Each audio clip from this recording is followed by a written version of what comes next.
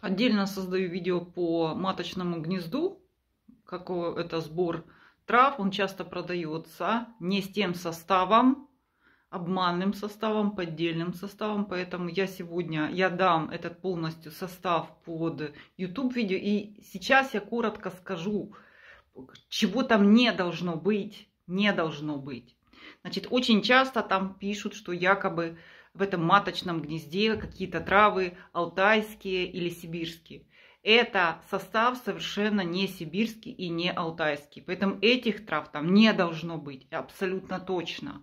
Боровая матка, артилия, то есть это по-разному называют. Красная щетка, радиола розовая, э, грушанка, зимолюбка. Это все, всего там не должно быть. И кроме того, еще там должна, вот это золотой корень какой-то там, э, э, вообще этого не должно быть, в принципе.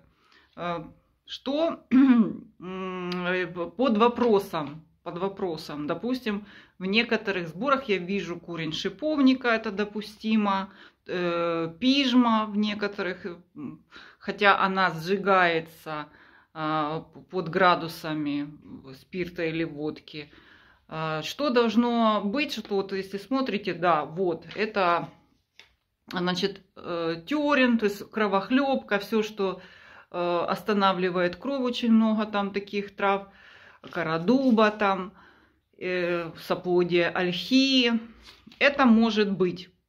Корень пиомна, разница, кто-то кладет этот корень пиона, марин корень, кто-то нет, но вообще он должен быть это тоже входит. Почему э, не должно быть красной щетки, артилии? Потому что это отдельно действующие, очень сильные травы. Кермек это тоже не наша местная трава, ее там не должно быть.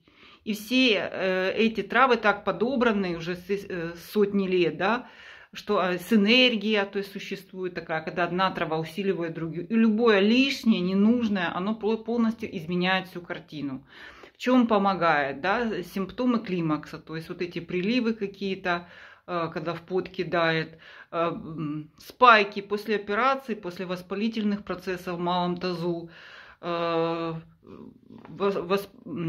анабуляторные циклы, то есть рассасывающие, от чего эндометриоз ну, требует дополнительных трав, сам по себе это нужно дополнительно. Вообще эта трава пьется, еще раз повторюсь, без разведения водой. И чем выше градус, тем лучше. То есть это на, на, настаивали на самогоне.